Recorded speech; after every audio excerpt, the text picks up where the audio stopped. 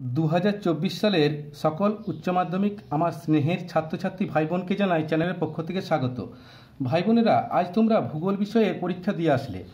আমি এই ভিডিওতে তোমাদের ভূগোল বিষয়ের অ্যান্সারগুলো করে দেখাচ্ছি। আমি অ্যান্সারগুলোতে গোল মার্ক করে দিচ্ছি তোমরা ভিডিওটি দেখে অ্যান্সারগুলো মিলিয়ে নাও।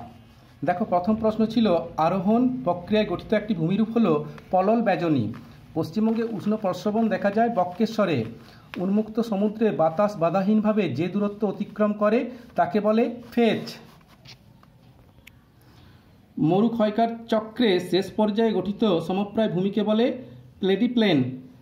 একনত গঠনযুক্ত ভূমিভাগে গড়ে ওঠে জফরিরূপী জল নির্গম প্রণালী।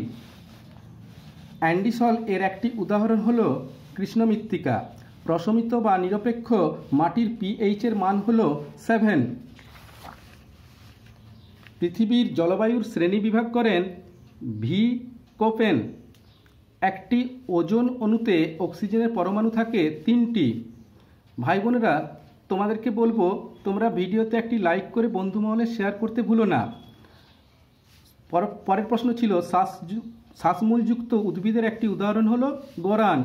জীববৈচিত্র্য শব্দটি প্রথম ব্যবহার করেন ওয়াল্টার রেজেন। হরপাবান সৃষ্টির মূল কারণ হল মেঘভাঙা বৃষ্টি। ভারতে কেন্দ্রীয় ধান গবেষণা কেন্দ্রটি রয়েছে কটকে।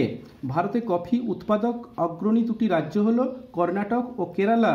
ভারতে প্রথম মেট্রো রসায়ন শিল্পকেন্দ্র স্থাপিত হয় ট্রম্বেতে। ডেট্রয়েট শহরটি যে শিল্পের জন্য বিশ্ববিখ্যাত তা হল মোটরগাড়ি নির্মাণ শিল্প। দু হাজার তেরো সালে ভারতের যোগাযোগ ব্যবস্থার অন্তর্গত যে পরিষেবাটি বন্ধ করে দেওয়া হয়েছে, তা হল টেলিগ্রাম পরিষেবা। সোনালী চতুর্ভুজ যে চারটি নগরকে যুক্ত করেছে, সেটি হলো মুম্বাই, দিল্লি, কলকাতা, চেন্নাই।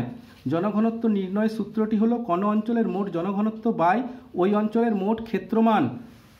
পাঁচমারি যে শহরের উদাহরণ, তা হলো প্রতিরক্ষা শহর। ভারতে একটি পরিকল্পনা অঞ্চলের নাম হলো হলদিয়া অঞ্চল। তো এই ছিল তোমাদের দু হাজার চব্বিশ সালের ভূগোল বিষয়ের এমসিকিউ প্রশ্নের সঠিক অ্যান্সার। আশা করি ভাই বোনেরা তোমরা ভিডিওটি দেখে বিন্দুমাত্র উপকৃত হয়েছ। উপকৃত হয়ে থাকলে অতি অবশ্যই কমেন্ট বক্সে কমেন্ট লিখে জানাবে আর চ্যানেলটির সঙ্গে থেকে আমাকে এগিয়ে যেতে সাহায্য করবে। তোমাদের সহযোগিতা একান্তভাবে কাম্য করি। তোমরা ভালো থেকো। তোমাদের পরীক্ষার রেজাল্ট খুব ভালো হোক। প্রত্যেককেই সাফল্য অর্জন করো।